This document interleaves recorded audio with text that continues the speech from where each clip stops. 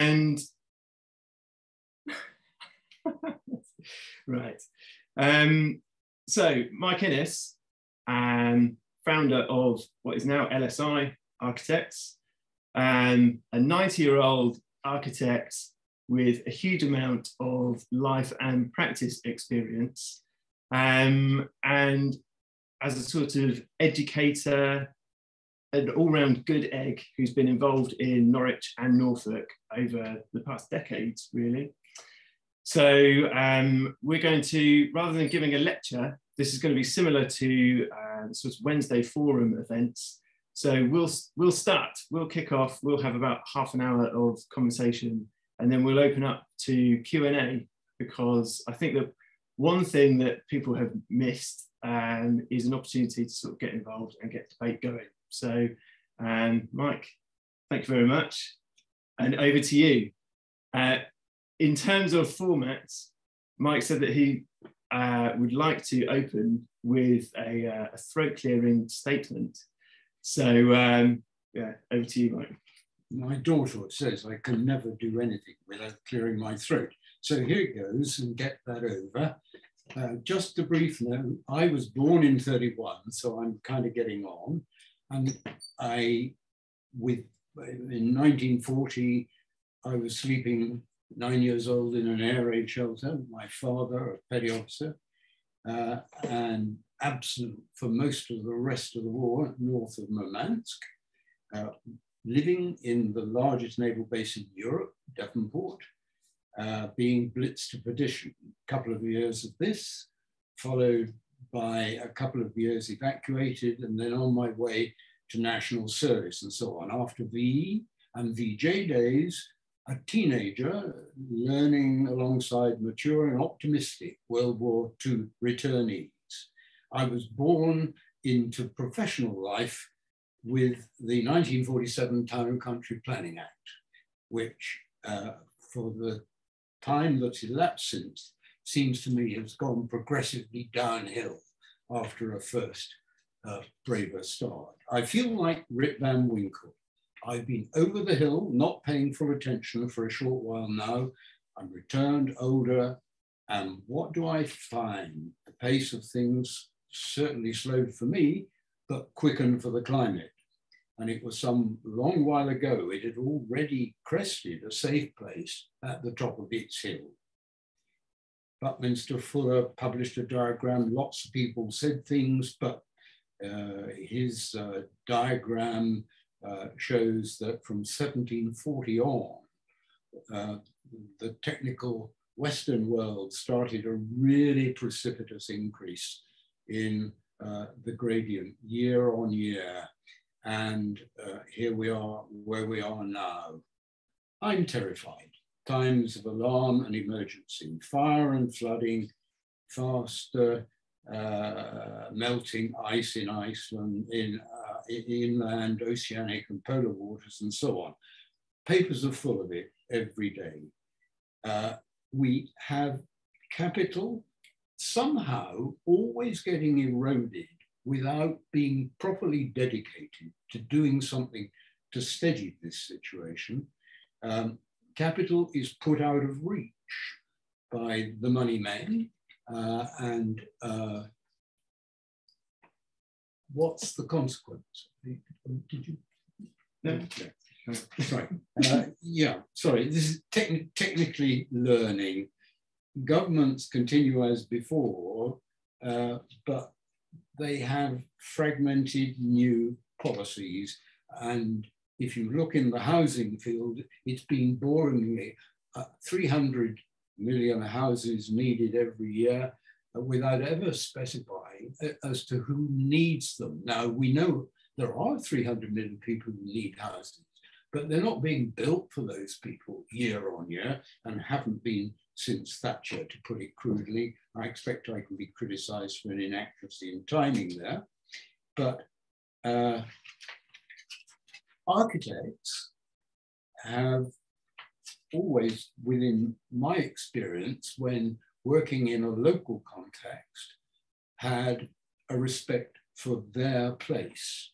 And I've always argued for local architects in these out of London situations. And I think that utopia is a decent aim uh, for everybody. And uh, yet it's become a kind of sneer word by people who don't think we should be spending money in ways other than what they want. But before we can decide to do anything, I think we need a new way of governance. If you look at today's paper, the headline of today's paper is what it is. and if you look at the sub. Uh, for those who can't see, uh, global heating is on track to top 2.4 degrees uh, despite COP26 pledges. And the subtext on the uh, the, the, the, the, secondary article? Uh, the next one is uh, questions over Iain Duncan Smith's £25,000 a year second job. And that's a small thing compared to some of the second jobs we've seen. We, we know that there is that uh, uh, the House of Lords gets bigger and bigger because it builds capital at the rate of uh, a few hundred million a year by the look of it. Don't want to deal with those things. Uh, just note them because they're part of the rot that's set in. And out of the climate summit has not come the hugely uh, necessary things that we need to come. Uh, I would like to start the real purpose of this talk. Right. And just ask your attention for a minute.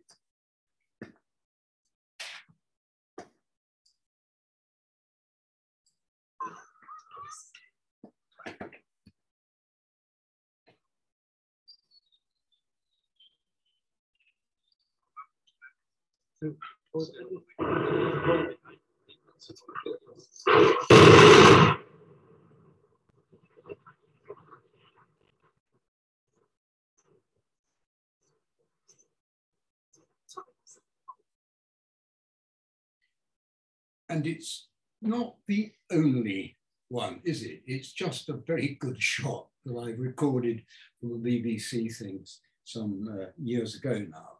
But we waste tremendous amounts of money. And it's never considered a waste of money when certain people wish to do it, whether it is flying into space or whether it's building the wrong sort of buildings. Uh, it can be done better. And architects know how to do it better, but what's the position of architects? Um, in a professional sense, they're not where they were, nor are any of the other professions, which is again what terrifies me a bit, really, because as we head towards an online society, the chances of, of getting something put in a better frame of mind and put right get harder and harder to find. We're lucky here in Thorpe, in Norwich, we have a town council, which is a, a, a reintroduction really after the 1973-74 uh, local government reforms. Um, and we do know our town council here a bit, and they do do things locally, arrange events for us, and so on and so forth. The nearer you get to the customer, as it were, on the whole, the more likely you are to get an honest feedback. But what are we trying to do now is a question none of us can answer. That we are sure about. Everything that does go on in the way we all used to go on, we know at the moment is likely to need correcting. And that's what I think should be our focus. I came across the fact that uh, in, nine, in 2010, uh, I, the Norfolk Association of Architects responded uh, to uh, a request of mine when I, for the second time, was president then of the local association of architects, to produce a pamphlet called Do Different and Do Better, uh, debating Norfolk's future. I don't want to discuss that now. I don't think we should be discussing those kind of, we should be talking about them, but we should not be, as it were, settling them. And it worries me that they're out to consultation on different ways of developing Norfolk at the moment with their new planning policy uh, that is a proposal and is out for consultation. How do we deal with it? We don't know what transport is doing. We don't know what very much is doing. I do admire the way the transport, the bus, the public transport situation has been got together in a rather better way, and no doubt it will continue to improve. Um, but that publication is on my website, which is incomplete uh, and faltering a bit, but you can get it if you look at Michael Innes Architect, that's me, and we'll circulate that with the copies of the video. Yeah, yeah. I think uh, it's going to be a sort of open um, yeah, format in terms of this evening. So anything that's mentioned, we can circulate a reading list or copies of uh, images or reports or anything that's mentioned. So we can, yeah, we can share that info. I also uh, produced a pamphlet um, in 2012 called Homes Fit for Purpose, based on those ideas. I think that hasn't reached the website yet, but it will. So there's a bit more uh, to pick up there. In passing, we are also talking about crises in the National Health Service and hospitals. Again, I don't wish to talk about it now, but when on the Council of the Norfolk Association of Architects, uh, along with others, not on our own, uh, we produced another uh, publication uh, about a different way of doing the hospital, which made the, demo, uh, the transformation of the existing Norfolk and Norwich Hospital unnecessary. But they went on to build the new hospital at Colney. And that was a dishonest thing to do, in my view, politically, because it was only ever publicized as a second hospital. And that was at the time of Tony Blair's first accession.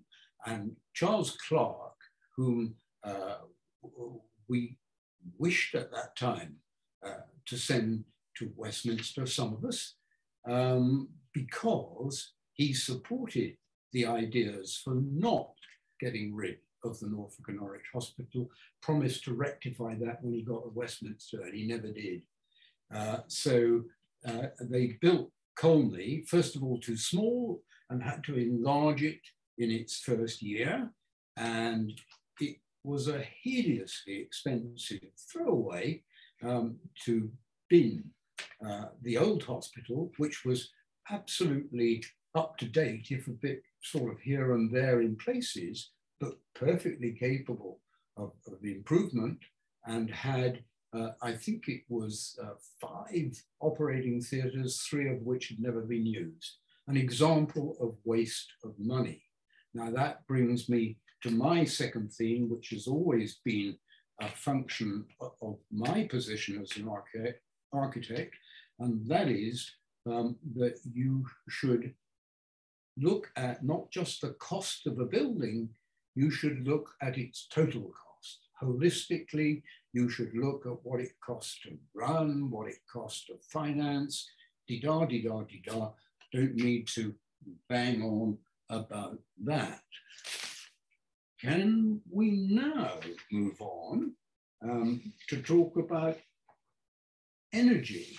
Um, again, in passing, uh, because of cost again.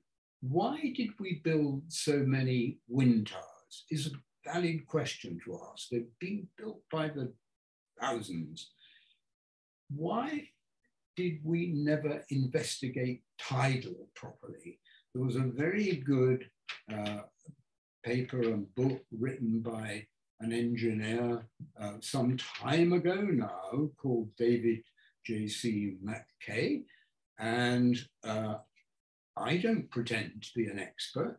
he doesn't say it's all absolutely clear cut, but we must be the most obvious candidate for tidal energy. And I don't just mean the old Severn estuary, but the Wash, and he nominates several possibilities. Shouldn't we be looking at that? Isn't this another reason we shouldn't be spending many, many millions on things that may not be in the right direction? Because I don't know if it's true or not, um, but I'm told that the energy consumed in producing these thousands upon thousands of wind farms on land and offshore even more, um, that is going the wrong way, possibly, possibly. And is it going the wrong way because enough people want to make money out of it, just as enough people want to make money out of oil and coal still? I think you have to ask the question. Now, I want to talk about the way we might, several ways we might think about uh, building uh, as architects if we're still in the market in the future. And we can't talk about that at the moment too, too clearly, um, but um, do people remember, uh, do, do, do people remember this thing? End of suburban man, uh, which is a thing that followed outrage. Uh, I read it very avidly at the time, uh, and it led me to think that we should not be uh, dealing with our cities in the way we are. But that wasn't the only thing. Um, at a time when uh, certain people were fashionable, uh, Corbusier, I was a great admirer of Corbusier uh, and uh, his Unité d'Habitation, the one in Marseille and the one uh, in Nantes-Rezé, um, and they're very good buildings.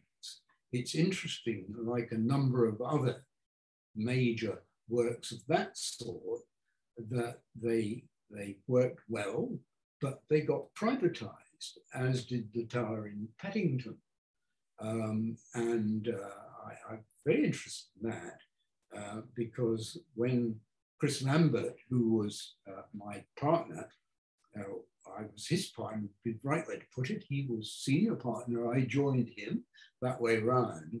But when Chris and I went to Paddington uh, to look at the tower, because uh, um, Buckman, uh, what was he called? Uh, Goldfinger. Goldfinger. He wanted us to take him over uh, because he was getting on. And we visited him in his office on the ground floor of that block. And he was enormously defensive about it uh, because he loved it. And he insisted to give us the choice. He's that kind of guy. He insisted on taking us to any floor we wanted, knock on any door you want, and ask the tenant how they go on. And then he did that two or three floors. Uh, and then we got back and discussed the question of how it would go on with him because it was a bit notorious, getting a bit notorious at the time.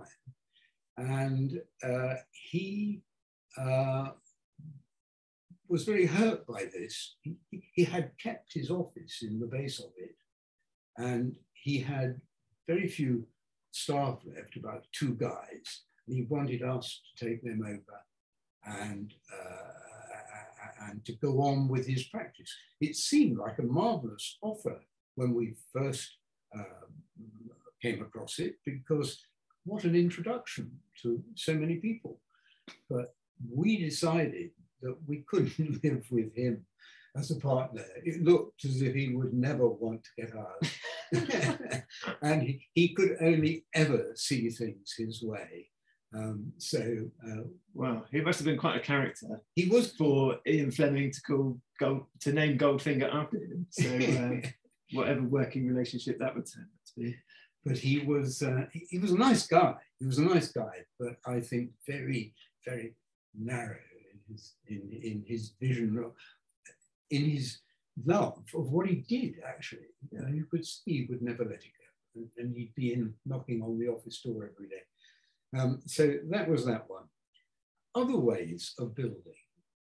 Archigram talked about building, did they not, in their sort of repertoire, building frames which people could inhabit. And they, uh, I, I, could only find this, I used to have their, their actual original publication, but I've lost it somewhere in transit.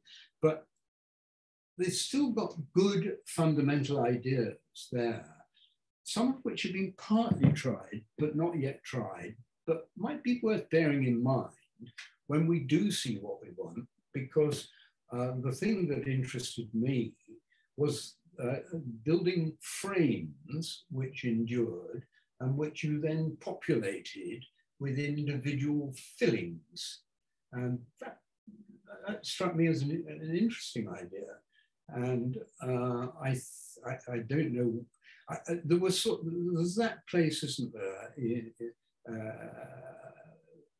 well, I don't know. It seemed to me that the, the frame would endure, and that had an advantage in the next generation of buildings we're coming to uh, with global warming, where you don't throw away things, you re inhabit them.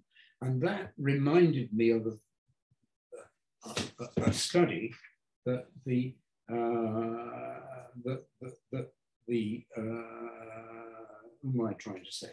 Uh, LSE did um, with their uh, thing about the Torre David uh, in uh, Caracas, uh, where an unfinished Ministry of finance building um, was inhabited in a rogue way by uh, some citizens lacking homes in the center of the city who wanted to be in the center of the city and wanted to have a home. And instead of going to the, the, the hovels on the outskirts, they, they populated the frame of this building and sort of finished it. And they had motorbikes running the shopping up to the top floor and things like that. And that informal community, it's politely called, endured, uh, I don't know what the current situation was, there, was talk of uh, uh, uh, rehousing them in some other way, but I think they might still be going on. Um, anyway, um, that suggested another way of doing things um, in, in a different form. The biggest example I had of creating, and I want here to relate the importance of value, biggest thing I ever did in anything like that kind of slightly esoteric connection was, of course, Castle Mall in Norwich, um, where there were several attempts going on uh, to uh, build shopping malls on the edge of Norwich, which Norwich did not want, mm-hmm. an attempt to build one down by the station, which wasn't quite so bad, but was going to be bad as it was then seen for the city centre. And it left what to do with the outer bailey of Norwich Castle in question. Well, it took, I, I had no idea of, of doing it. I'd never done a shopping centre before, and we were a very small firm. Uh, but again, I won't tell you the story of that now because that will be the rest of our discussion.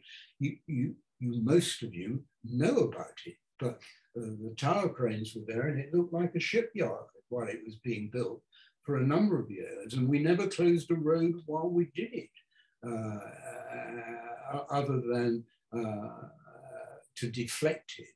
And I, having been a royal engineer in my uh, National Service days, was delighted to be the only on, guy on site who'd ever built a Bailey Bridge because we reconnected uh, town to it uh, via Bailey Bridge. But it, it worked. And uh, again, if you look at my website, there's the beginnings of an account of that that will be filled out, I hope, over the years that shows that. But it got extremely good publicity, and it got publicity because it was value for money, because a term I like to use, and I've ever since liked to use, cost in use, was the equation that, that was accounted for. Uh, and cost in use seems to me more important than the cost of the building. I don't mean the cost of the building is not important, but the cost of the site, the cost of the de developer, the cost of tax to government, and so on and so forth. You have to look holistically at the whole question of costs. And that's quite, uh, well, to sort of jump in, that's quite an interesting thing to think about it in terms of use and how people use people how people use it and also why it's being used that you've spoken about a vast sort of time period in terms of your career and how that has changed from what seems like a, a sort of post-war utopian vision of everything's there in terms of benefit to um, the present day uh, post sort of Thatcherite Britain, where everything is sort of much more commercial without um, the use for everybody else. And I wondered if you sort of say something about how how the sort of the time period has changed, and also how how the profession and the sort of society and the situation that you operate with it, within as an architect, how those two things are sort of related. I think um, certainly they change very significantly. Uh, and any member of a profession is in, in increasing difficulty, I think, in some ways um, there. Uh, and I do believe uh, what people who are advocating this radical change to do away uh, or to make global warming tolerable, how they are saying, it's not my perception, but I absolutely see the point, that we should not be making physical decisions to reshape major physical things that we can avoid at that the moment. It doesn't mean to say we mustn't make any decision. It doesn't mean to say that life can sit on our hands and do nothing. But you should be very careful and discreet about the decisions you do make. Yeah. Uh, because if they're wrong, they're just another load of money wasted that isn't going the right way. And and also in today's context, you know, the the global deadline is 2030. It's you know, eight years away, essentially. And in terms of periods or projects that you know you would have worked on many that were longer than that. So the idea of saying we don't need to know, like we can't build on anything, or we have to be sure that we're doing the right thing. Knowing what is the right thing is a very tricky situation to be in for us now in the sort of practice and just wider society today. Well, it's interesting, isn't it? Because again, if I can just refer to one aspect of Castle Mall, um, it, it started accidentally, as far as I was concerned, as an exercise in, uh, in protest against a very bad scheme that was going to diminish, demolish, uh, I think it was 36 listed buildings on Timber Hill. Yeah. And it was part of the first definition of, of, conservation areas in the city at a time when planning hadn't entirely lost its way, which I think it did subsequently go a long way in the wrong direction uh, because of lack of uh, central government motivation and resources, as with the hospital. It became about money things rather than real things. And I think uh, to say uh, that it took 20 years to bring about from the first spark of an idea. Um, and uh, I, as I said, I'll put the account of it, um, but you know, it, it took my firm uh, to Moscow because it looked so profitable in the end for everybody. Mm-hmm. Um, the council uh, it got the castle greened, it got its car parking underground, it got its shopping underground, and so on and so forth. Uh, not into all that now, you all know it well, pretty certainly. But I do want to just briefly allude to uh, the relationship to local government because Castle Mall came about because of the staunch support in the end of Norwich City Council. Um, Patricia Hollis um, was as responsible for Castle Mall as I was. And it was interesting that she came from Plymouth too. and she was not that much younger than me. And sadly, she's died since. That, that's, uh, that's sad. Um, but uh, there we are. But you cannot divorce the ability of professionals to do things uh, from the politicians who have to make the environment within which they can do them. It's also important to remember that the professions started in the 19th century to, as it were, mediate between the unscrupulous contractor and uh, the public. And that's not a role it's easy to fulfill unless the opportunity is there to do it. And uh, I think uh, I, I, I, th I, think the uh, it used to be a community of interest. I mean, um, we used to have uh, well, I don't know, just fun, really. Um, th there was an architect's ball that we invented in the end that took place once a year. Um, that was great fun. And we used to take clients to it and take other professionals to it. And uh, oh, I, I, I, sat at a, an architect's ball table um, with uh, Colin Chapman, um, the chap who did Lotus Cars. Um, Colin was a difficult man, and he wasn't my direct client, he was Chris's client, but I, I did the laminating shop as a result of that.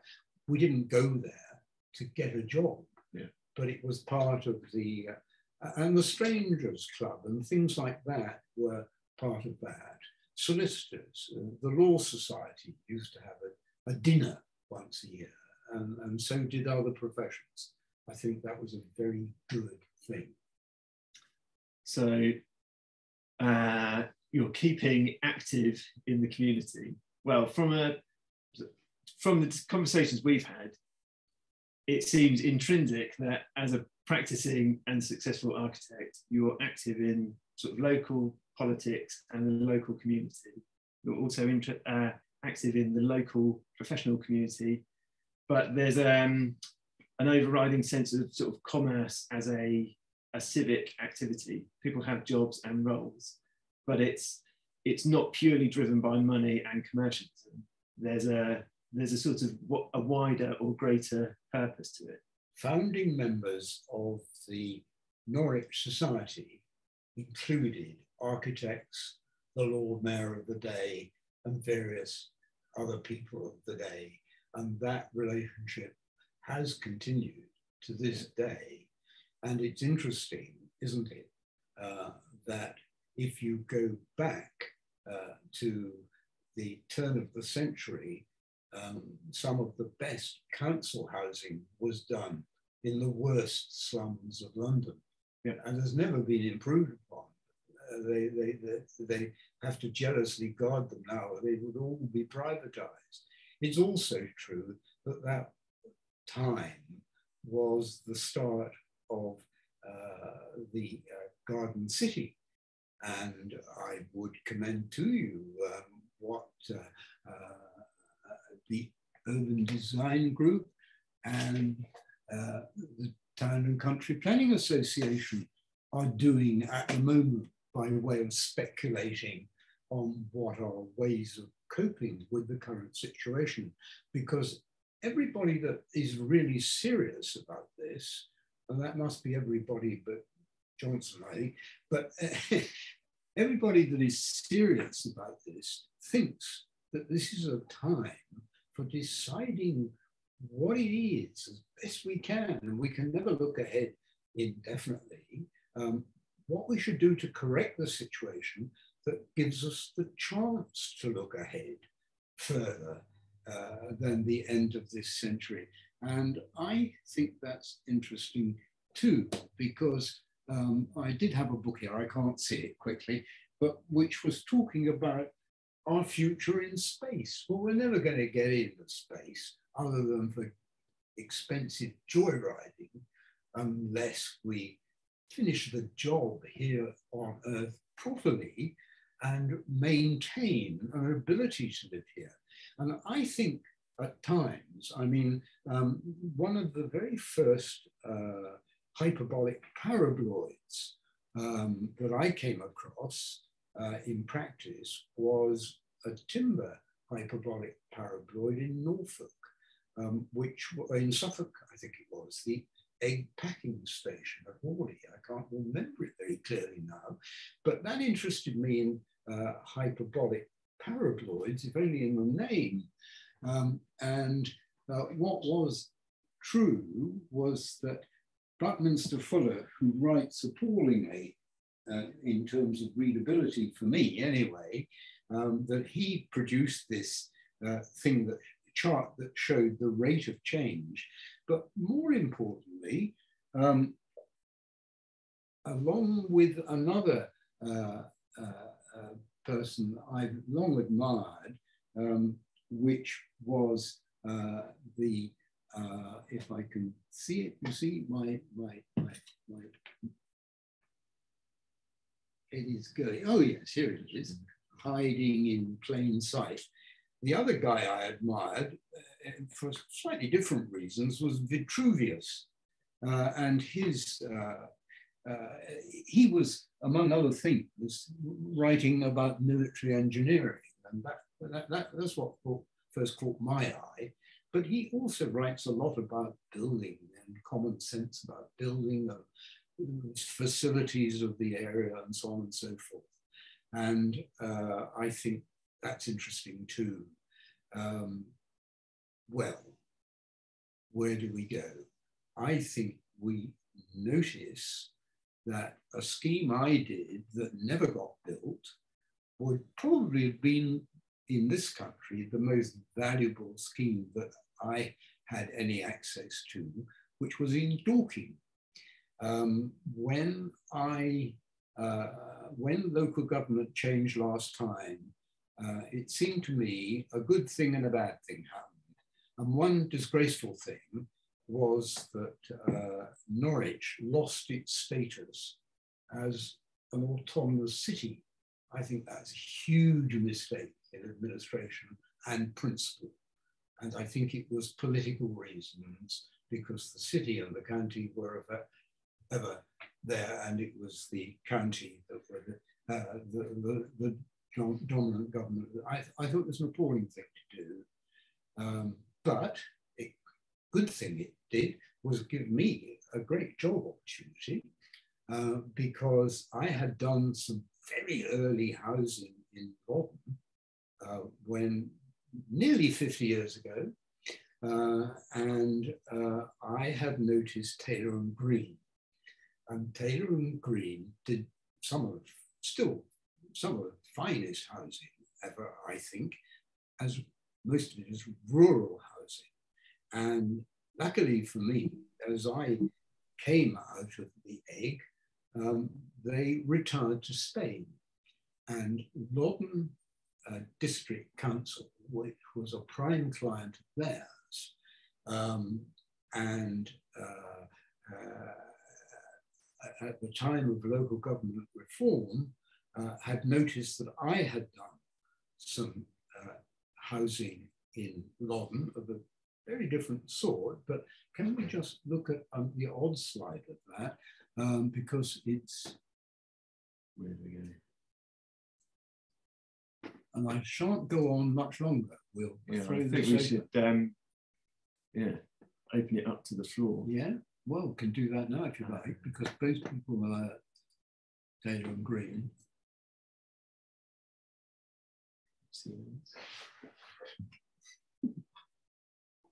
There you are. That's Tayler and Green. So Tayler and Green in the country. share this. There we go. Yeah. Now, can you look at the other ones in that group? Yes. Again, these are on my website. Um, this is Tayler and Green. Uh, let me just You got mine as a group? share this one as well. Yep. Here we go. Now, can you see uh, Brundall there? Can you see Yeah, and we can. that's my Norfolk interpretation many years ago uh, of uh, Tayler and Green.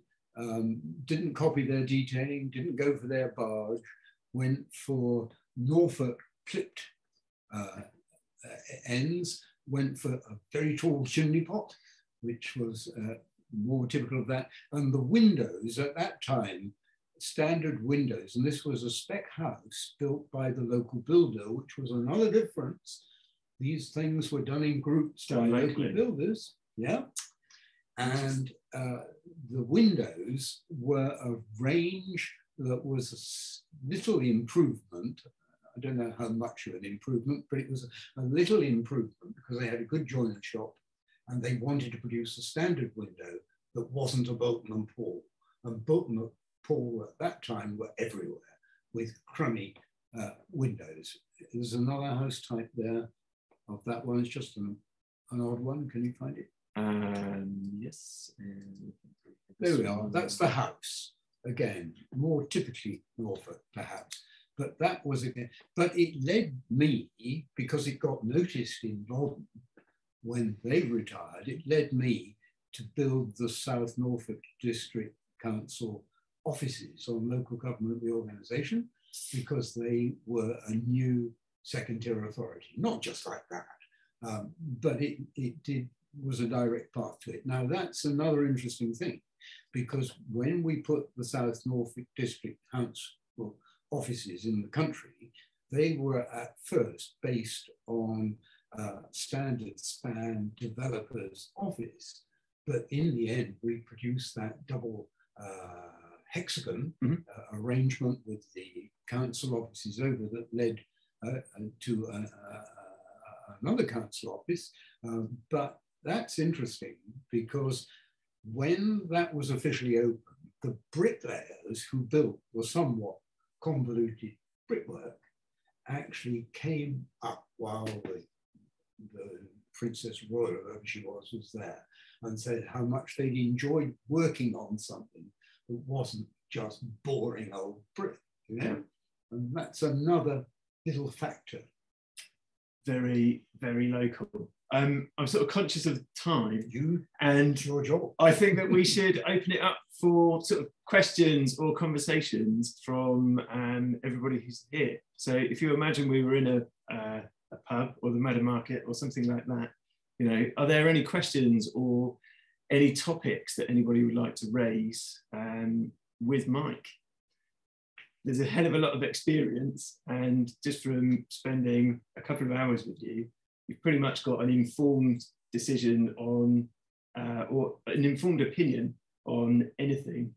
and so there's always something new that comes up. I think what I find interesting from talking to you is the um, organization of people and being part of the community and how that is somehow linked to it must be linked to the solution to our current climate crisis and that um, as an ex- one thing I have in the back of my mind is that you talk about uh, post-war, the sort of the situation and society post-war, and it's after the disaster.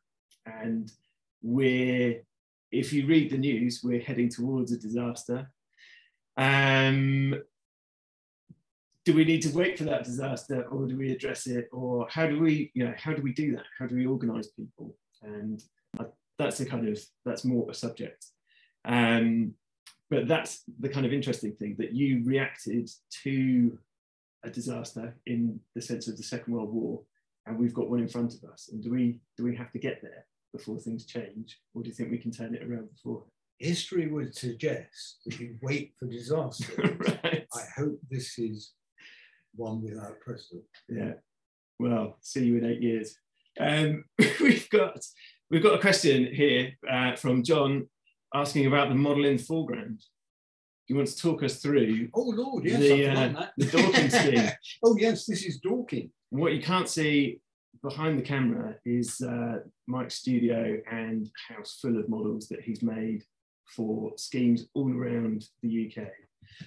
This is an alternative way uh, to creating density uh, that is based on my experience. And it, it consists of layers piled on top of an existing scruffy car park alongside an existing small shopping centre and putting a supermarket in the middle of very upmarket Dorking and creating enormous value in the middle of very upmarket Dorking. Now, if you leave that to the usual rules, it of course uh, becomes, uh, well, subject to the usual extortion of maximum profit if you're not careful by the usual developer mentality.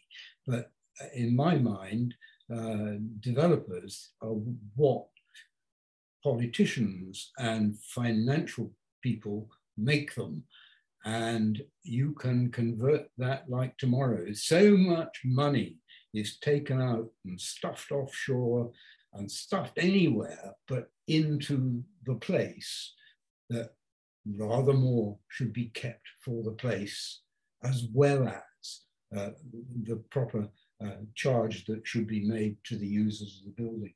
Um, can we uh, I, I, I, won't take it to pieces because this is no place to explain, but here is uh, a rejected layer of that, which begins to show you, and again, I won't deal with it here, but it's a mix of housing, it's a supermarket, it's a green roof with a walk over it, it's uh, an infant school in a safe place on the roof above a public library uh, on which the children can play away from the street in a supervised way and so on. So you get the general idea. And I mean, in terms of commissioning a scheme, who, I mean, using that as an example for the project, who was commissioning that? Because it's it's got the uh, the Mike Innes extra factor. So you're you have scruples, just sort of drawing on something you said earlier. So you've got a kind of a, um, your own personal drive to make places as good as you can. You know that it's a successful uh, shopping centre, but there are also residential and school and like social factors that go with it. Who's the client in that situation? Well, and are they asking for it as well, or are you just push? Are you pushing it? they wanted, uh, the, the, the, requirement was uh, more shopping and a supermarket, not a mall, right. nothing like that at all. Um, there was also undoubtedly a local authority that wanted a library. Um, so that was a factor. I had done, and they had could see the uh, Dorking offices of that council, Mole Valley District Council.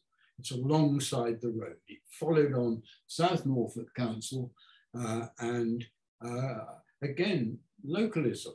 I was struck by the fact that uh, the same brick uh, clay strata runs from East Anglia through to that part of the world. Yeah. Um, and um, I had said something of this uh, in the um, Architect Journal report uh, on, on South Norfolk District Council. And that put me on a long list of 100 architects. And Mole Valley, who was stockbroker Belmore, um, went round Uh, and they actually did actually talk um, to the best part of those people, and they reduced it to a list of six. And I produced, and there's a good good point here. I mean, this remember this was in the days before computing uh, uh, this, uh, and uh, sitting in my office here, I can't show it to you, is what I did, which was to put uh, the, the, the, the new offices they wanted, having been impressed with South Norfolk District Council offices, uh, on the other part of the site than that indicated in the competition conditions, uh, because I thought it was a better place to put it as a screen to Pippbrook, uh, which was a sunken park relative to the entrance to Dorking, and put the council offices on the roof and so on. Again, um, you'll see it on my website if you want to look at it, but uh, it, uh, it, it was fun to do.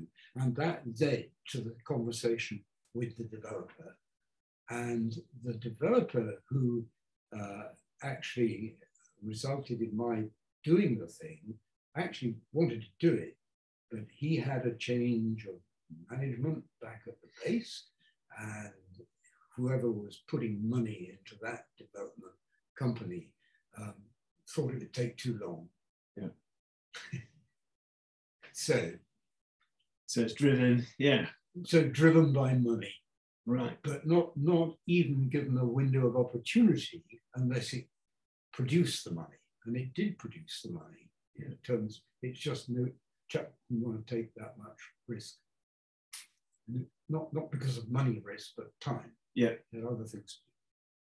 Interesting. The old the old factors, time and money.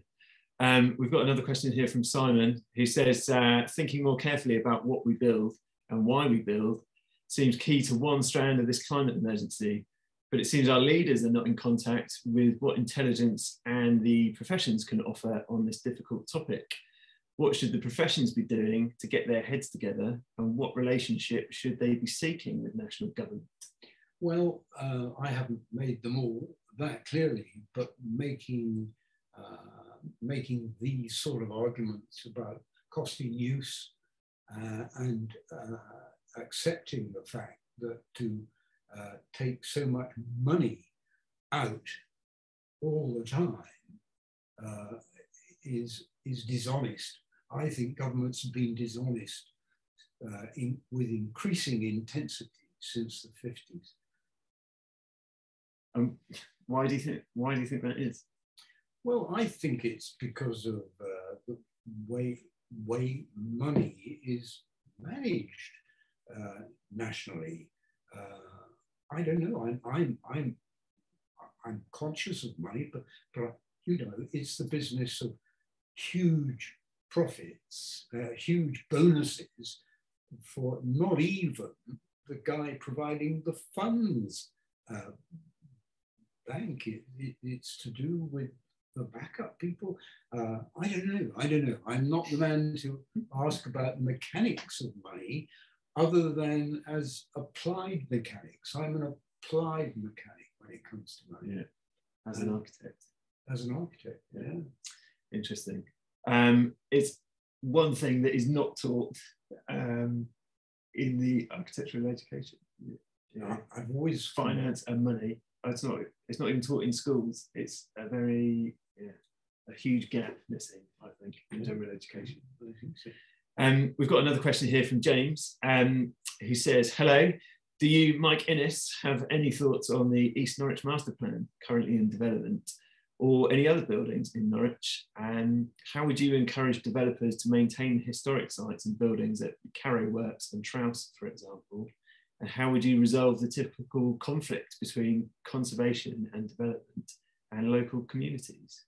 And how would you encourage the greater use of design? Over to you. There is no, there is no better way of encouraging uh, good design than doing good design. Uh, people like, like, like, like to be uh, like to have their projects praised, and provided it doesn't cost them too much, Yeah. um, they're willing to do that. Uh, the answer is, uh, what do I think of the country? I think it's disgraceful that we're producing proposals to amalgamate the Broadland and, uh, uh, and South Norfolk district as one, when the only reason for that really is the lack of a sound grasp of a sound policy uh, and to put it on, uh, as it were, a business park for its new headquarters in the old uh, insurance uh, thing there, I think is, is even more demoting in a way, uh, because uh, one of the first things that certainly South Norfolk wanted to do was to get out of Norwich. It wanted its, and if you look at Long Stratton, it's at the geographical center of its district. And I'm, I'm amazed. And I, I think the, they can only do it under duress. On the other hand, um, they both probably got offices which are too big for each of them with the way money has been taken out of local government. And I think money should be put back into local government uh, with a very full brief as to how the country is going to reorganize, uh, not put back, but deal with better um, its economy in a, in, in a different way uh, and in a post uh, COVID. And I mean, we, we're, we're specialized here, aren't we, in, uh, pandemics, uh, but for turkeys, basically, um, my time was occupied with turkey pandemics, Bernard Matthews, um, and, and citing them uh, on, uh, on, on, on, on estates, uh, on, old airfields. But it was interesting that one of the reasons for uh, the size of one department for South Norfolk in those days uh, was its public health department to deal with that, um, these, these plagues and things. Well, you know, uh, um, if we've got COVID and things like that with us, shouldn't we be dealing with public health on a more local basis again, properly, instead of passing it on? Shouldn't we be doing the same thing with education?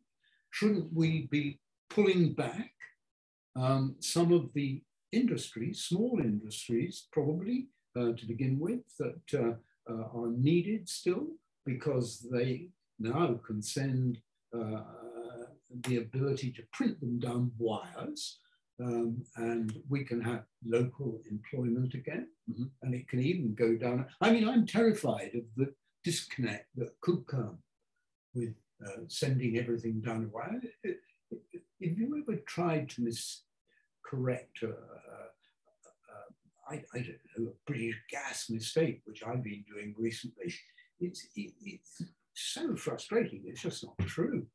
Um, to get hold of the right person, you know?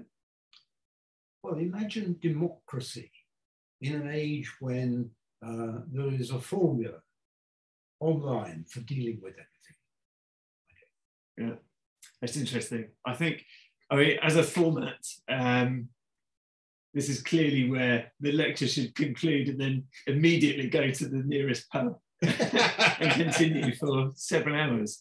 Um, and I think, I don't know, we'll see uh, what the kind of demand or feedback, feedback is like in terms of meeting up for debates, because it's something that's been missing over the last year and a half with Zoom presentations where it's just uh, watching lectures, actually getting involved in the conversation. That might just be the thing that helps, um, I don't know, bring things around in the next few years.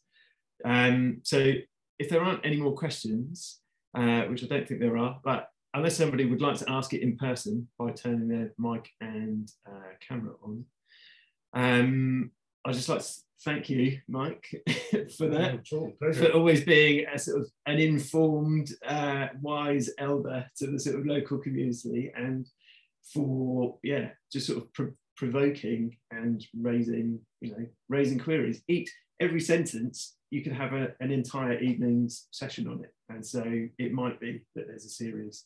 Maybe we'll get uh, BBC Norfolk in um, and so I think, um, yeah, I think I would like to conclude it. Right, would you like to say something about the model? well, just I forgot to mention uh, this, of course, is, is again a product of um, the NAA. And I'm sorry we've dropped NAA, by the way. I know in the interest of centralization, uniformity, and establishing wider credentials, it's a good thing to do. For me, it's a bad thing to do. Uh, not appalling. We were never known or recognized as other than part of the uh, RIBA and never thought of ourselves as other but it's a pity. It's another thing gone to a centre. But no, I did want to point to this because this is a model of the thing that you can get a copy of online uh, uh, about development in Norfolk. You can you can you can download this um, in do different and do better, and you've already paid for it because that was an exhibition uh, published. Uh, that, that was a paper of mine published uh, back in 2012 um, by the Norfolk Association of Architects. It's yours. All right. Um, well, thank you. Um, thank you all for joining in as well. Um, we've got another talk in a couple of weeks on the 24th, and it's uh, past presidents featuring yourself. Uh, but me, I would be mine of it. I would be listening to what the other presidents say. Uh, along with uh, others, including Dream, got uh, Anthony Hudson, uh, John Boone, uh, Chris Garner as well. So um, that'll be more thoughts from more kind of experienced locals. Um, so yeah, thank you very much. Hope to see you there. And um, there will be a lineup of events in the spring um, with the sort of postponement of Fan 21. It'll move over into uh, 2022. So hopefully we can see you then and um, meet in person. Yeah, so that would be nice. All right. Thank you. Thanks, everybody.